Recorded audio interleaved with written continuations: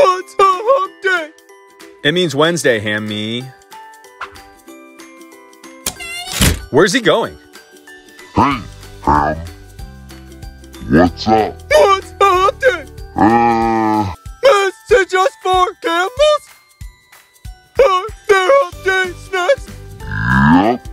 Well, you share some with Hammy's? No. But it's hump day.